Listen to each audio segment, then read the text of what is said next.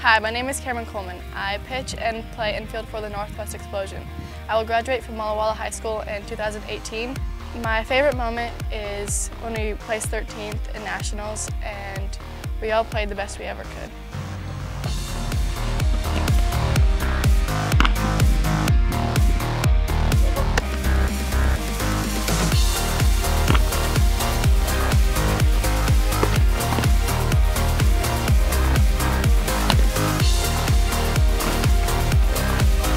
Graduate, I would like to be a veterinarian because I really like interacting with animals.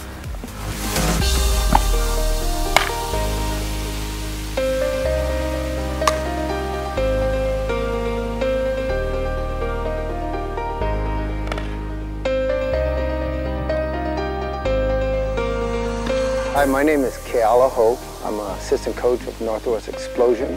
I've worked with Kamryn Coleman for the past five seasons. Kamryn is an extremely hard worker. Um, during the off season, she's out there lifting weight, running, working out. She has great feet. She has great hands. She's an excellent pitcher for us. She's not afraid to pitch inside. We hit her from one through five in our lineup because she can hit to the opposite field. And she's a great team player.